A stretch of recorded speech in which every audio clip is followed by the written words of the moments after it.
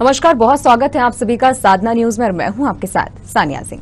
तो चलिए सीधे रुक कर रहे हैं इस वक्त की बड़ी खबर पर, जो कि छत्तीसगढ़ के रायपुर से है। जहाँ पर विधानसभा की कार्यवाही के दौरान छत्तीसगढ़ में हंगामा हुआ। बता दें कि छत्तीसगढ़ विधानसभा बजट सत्र में विपक्ष ने गर्भगृह में फिर से नारेबाजी शुरू कर दी। बता दें कि गर्भगृह में हंगामा करने वाले विपक्षी विधायक स्वमेव निलंबित हो गए। असंदी ने निलंबित विधायकों को बाहर जाने की सूचना पड़ी वहीं निलंबित विधायक नारेबाजी के साथ सदन से बाहर निकल गए। वहीं विधायकों का निलंबन समाप्त हो गया है। आसंदी ने विधायकों का निलंबन समाप्त कर दिया है।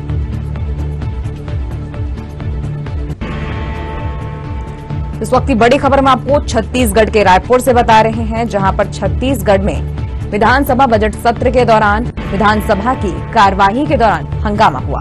बता दें कि विपक्ष ने गर्भगृह में नारेबाजी शुरू कर दी। बता दें कि विपक्षी विधायक गर्भगृह में हंगामा करने के बाद सौ में भी निलंबित हो गए। वहीं ने निलंबित विधायकों को बाहर जाने की इस दौरान सूचना पड़ी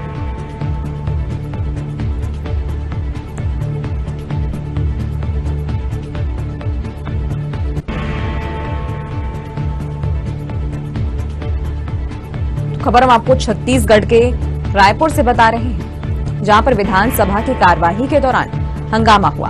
बता दें कि विपक्ष ने गर्भगृह में हंगामा करने की कोशिश की, जहाँ पर विपक्ष गर्भगृह में नारेबाजी करता नज़र आया। तो हंगामा करने पर विधायक सौ में भी विधानसभा की कार्यवाही से निलंबित हो गए। वहीं संधि ने निलंबित विधायकों को बाहर जाने की सूचना भी पड़ी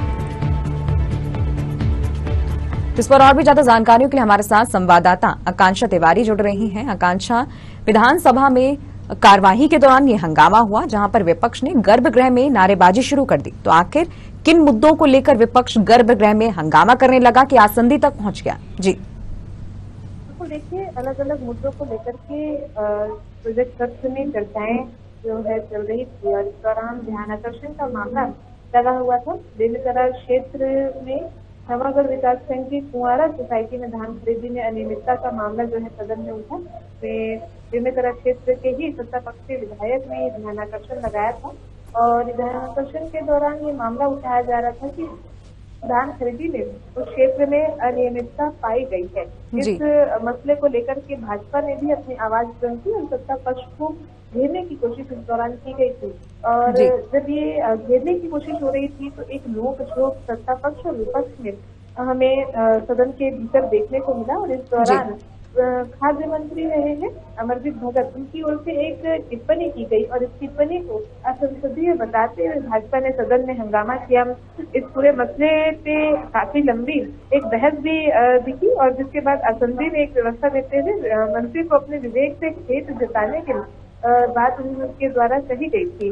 और हालाँकि इसमें मंत्री की ओर से किसी भी प्रकार का खेद नहीं जताने को लेकर के विपक्ष जो है गर्भगृह में पहले उतरा, उसके बाद फिर सदन की कार्रवाई लगभग दस मिनट तक के लिए स्थगित कर दी थी सामने और सदन की कार्रवाई जब पुनः शुरू हुई तो एक बार फिर विपक्ष ने इस मसले को उठाते हुए इसमें मांग की कि संसदीय टिप्पणी के लिए विपक्ष जो मंत्री है अमरजीत भगत उनके द्वारा माफ़ी मांगी जानी चाहिए उस पर खेद व्यक्त किया जाना चाहिए।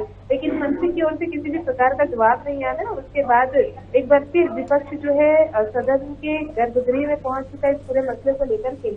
और दोनों ही पक्ष की ओर से अगर हम देखें तो एक दूसरे पर आरोप प्रत्यारोप यहाँ पे नज़र आया। विपक्ष गर्भगृह में घुस करके हंगामा विपक्ष की ओर से किया गया तो जो विधानसभा की नियमावली है उसके तहत स्वमेव अगर विपक्ष जो है गर्भगृह में आकर के हंगामा करता है नारेबाजी करता है तो स्वमेव वे सदन से निलंबित हो जाते हैं। हालाँकि निलंबन के पश्चात जो है पुनः उनके निलंबन को निरस्त करते हुए निलंबन को समाप्त करते हुए आसंदी ने उन्हें वापस सदन में बुलाया। हालाँकि इस पूरे मसले को लेकर के जो कहा सुनी है पक्ष विपक्ष के मध्य जो चर्चा थी, वो ज़रूर हमें देखने को मिली। एक टकराव पक्ष विपक्ष के मध्य इस पूरे मसले को लेकर के आज सदन के मध्य हमें देखने को मिला।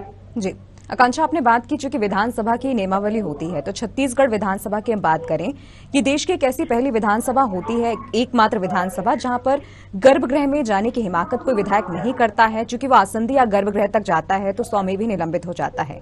तो अध्यक्ष ने यहाँ पर विधायकों का निलंबन कितनी देर के लिए किया था और उन्हें कब वापस उनके निलंबन को निरस्त किया गया? जी। बिल्कुल लेकिन जब सत्र के दौरान हंगामा हो रहा था हंगामे के दौरान जब विपक्ष के सदस्य गर्भगृह में पहुँचे तो फिर समय ही निलंबित हो गए। और निलंबन की सूची आसंदी की ओर से पड़ी गई। तमाम जो विपक्षी विधायक है भाजपा के वो निलंबित हुए। और उसके बाद वे सदन में ही व्यवस्था न होने के चलते नारेबाजी करते हुए सदन से बाहर निकले। हालाँकि लगभग कुछ ही मिनटों बाद असेंबली की ओर से व्यवस्था की गई और उनका जो निलंबन है वो समाप्त किया गया। जी। आकांक्षा आपका बहुत बहुत शुक्रिया पूरी तमाम जानकारियों के साथ हमारे साथ जुड़ने के लिए।